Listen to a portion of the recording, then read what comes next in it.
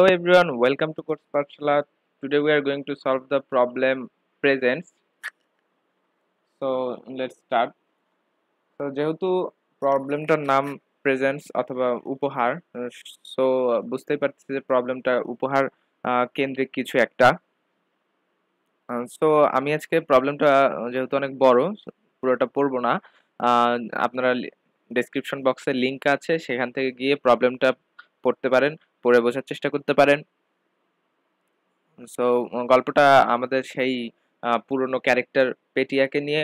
তো আমি যেটা মেইন ডেমোটা সেটা বলতে যাচ্ছি। অর্থাৎ গল্পের যে মেইন যেটা গল্পে মেইনলি বলা হয়েছে, যে জিনিসটার উপর ফোকাস করা হয়েছে, সেটা বলতে যাচ্ছি। তো সেই জিনিসটা হচ্ছে যে পেটি একটা পার্টি অর্গানাইজ করেছে, যেখানে প্রত্যেকে একজন অপরজনকে উপহার দিবে।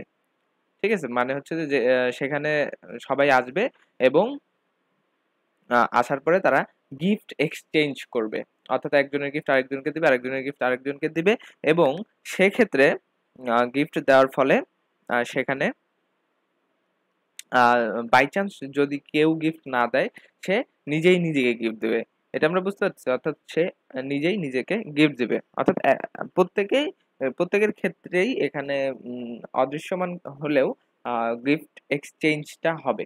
ওকে তো গিফট এক্সচেঞ্জের বিষয়ে যেটা হচ্ছে এবার আমরা হচ্ছে মেইনলি হিট করব হচ্ছে এক্সাম্পলের অ্যালগোরিদমটার উপরে। তো আমাদের মেইন ফোকাস এক্সাম্পলের অ্যালগোরিদমটার উপরে।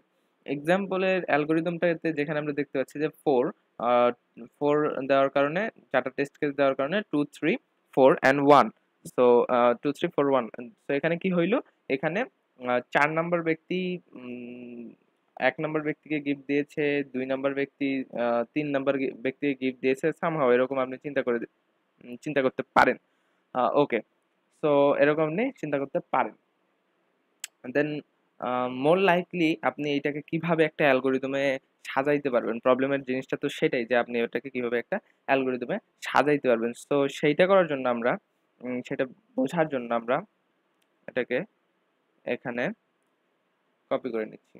Okay so here we go এটা আমাদের প্রবলেম ওকে তো আমরা চারটাকে তো কনসিডার করব না, চারটাকে বাদ দিলাম। আচ্ছা তো বেসিক্যালি এখানে যেহেতু চারটা টেস্ট কেস সেটা আমাদের অবশ্যই কোনো না কোনো অ্যারেতে নিতে হবে। অবশ্যই সেটা আমাদের কোনো অ্যারেতে অ্যারেতে নিতে হবে এবং অ্যারেটার সাইজ আমাদের কেমন হচ্ছে? অ্যারেটার সাইজ আমাদের এখানে যখন চার, চারটা টেস্ট কেস থাকবে অ্যারেটার সাইজ সামহাউ এরকম হবে। অর্থাৎ শূন্যতম পজিশনে দুই থাকবে ওয়ানতম পজিশনে থ্রি থাকবে টুতম পজিশনে ফোর থাকবে এবং থ্রিতম পজিশনে ওয়ান থাকবে। ওকে সো অ্যারের এই পজিশনগুলোতে আমাদের আমাদের এই নাম্বারটা আছে।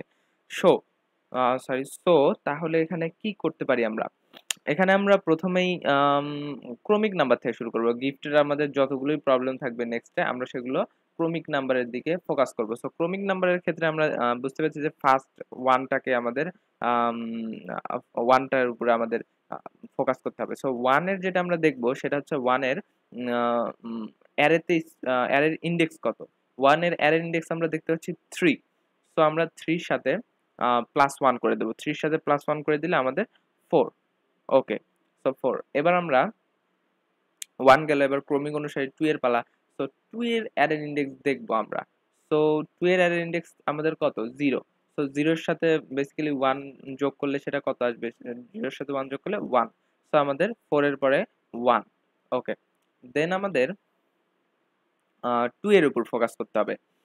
ওকে সরি টু এর উপর গেল। এবার আমাদের থ্রির উপর ফোকাস করতে হবে থ্রি থ্রির ইন্ডেক্স কত? Three index one three index one সেই জন্য আমাদের ওয়ানের সাথে আরও এক ওয়ান যোগ করব এবং ওয়ানের সাথে ওয়ান যোগ করার ফলে টু ওকে টু ওকে দেন আমরা যেটা করতে পারি সেটা হচ্ছে যে, বাকি থাকে কি ফোর তো আমরা ফোর এর ইন্ডেক্স খেয়াল করব ফোর এর ইন্ডেক্স ফোর এর ইন্ডেক্স টু টু এর সাথে ওয়ান যোগ করলে থ্রি সো আমরা আশা করি এইটাই আমাদের আউটপুট দেখাতে হবে okay so four one two three four one two three আমাদের আউটপুট দেখাতে হবে।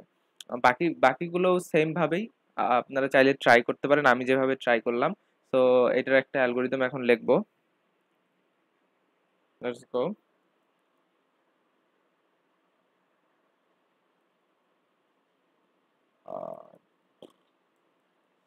okay, what was the problem? Present. Dot cpp exactly. তো আমরা যেটা করি প্রোগ্রামিং করার প্রথমেই আমরা একটা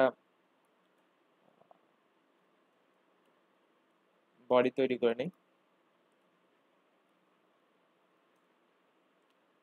আচ্ছা তারপর হচ্ছে using name space std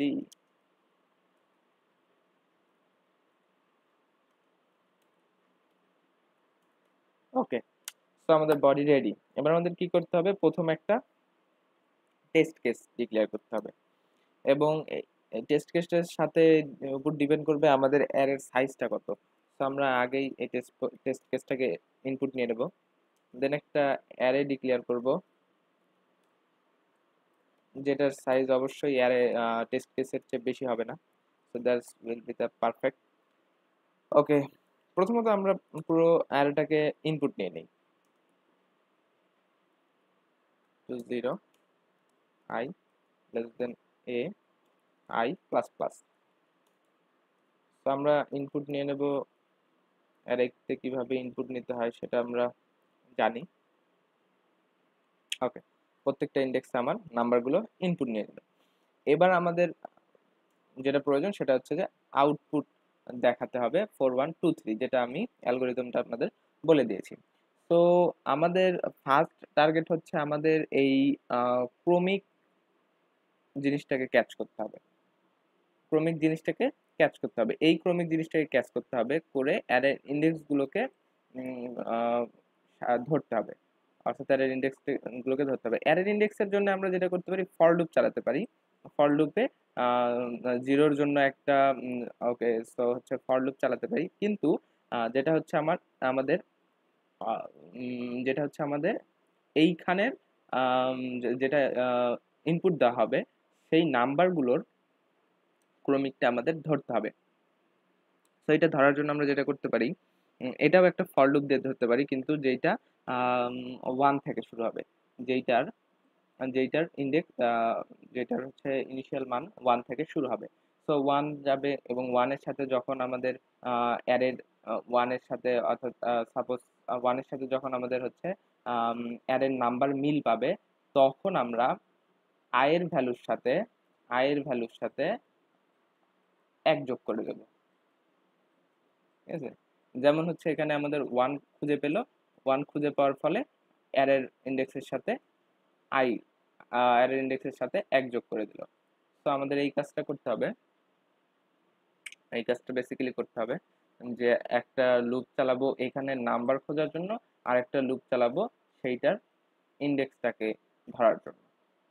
okay তো অবশ্যই নাম্বারটা খোঁজা, প্রথমে নাম্বারটা খুঁজে বের করতে হবে, যেটা আমরা স্কোয়ার ম্যাট্রিক্সও করে থাকি। যে less than a equal to one okay কারণ এখানে এক থেকে শুরু হবে তো অবশ্যই বাই চান্স চার হলে চার পর্যন্তই যেতে হবে। এটার কমে গেলে আর আমাদের সব এলিমেন্টগুলোকে ধরতে পারব না। ওকে আরেকটা লুপ যেটা চালাবো সেটা হচ্ছে নাম্বারের ক্রমিক গুলোকে ধরার জন্য। এটা জিরো থেকে শুরু হবে সো হবে। ওকে এবার আমাদের কন্ডিশনটা কি থাকবে? এবার আমাদের কন্ডিশনটা থাকবে ইফ অ্যারের ইন্ডেক্স অ্যারের ইন্ডেক্স যদি যে সাথে যে সমান হয় যে সমান হয়, তাহলে আমরা যেটা করব C out I plus one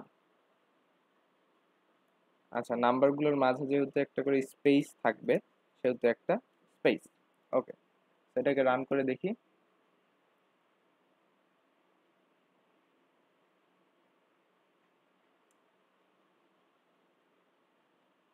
okay integer যে এটা আমি কল করিনি সরি ডিফাইন করে করিনি এক্স্যাক্টলি রান হয়েছে। তো ফোর দিলে আমাদের টু থ্রি ফোর ওয়ান যেটা আউটপুট দেখাবে four one two three okay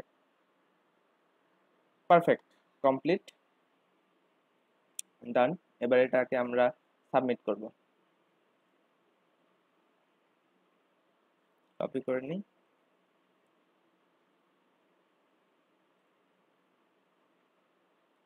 Submit.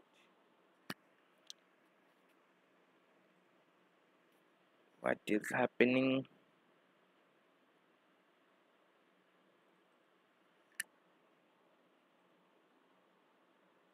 তো আরেকটা জিনিস আমি এটা ক্লিয়ার করতে চাচ্ছি যে নেস্টেড লুপ কেন ইউজ করলাম? কারণ নেস্টেড লুপটা হচ্ছে ইউজ করলাম। যে সাপোজ হচ্ছে জে এর মান যখন ওয়ান থাকবে, তখন নেস্টেড লুপ আইটা পুরা অ্যারের ইন্ডেক্সগুলোকে সার্চ করে সার্চ করে একের ইন্ডেক্সটা নিয়ে আসবে। অর্থাৎ নেস্টেড লুপ আই কিন্তু ওয়ান থেকে ফোর পর্যন্তই বারবার চলতে থাকবে যে ফোর পর্যন্ত ফোর না তো যেহেতু জিরো থেকে শুরু হয় জিরো থেকে ফোর থ্রি পর্যন্ত বারবার চলতে থাকবে এবং আমাদের আইয়ের যে ভ্যালুটা সেটাকে সার্চ করে অ্যারের ইন্ডেক্স থেকে সেই নাম্বারটাকে বের করে আনবে এবং ইন্ডেক্সের সাথে একযোগ করে দেবে। ওকে তো সাবমিটের প্রবলেমটা এখন হয়তো সমাধান হয়েছে তো এটা submitted successfully and accepted. So, problem number 136a presents accepted thank you everyone, thanks for watching.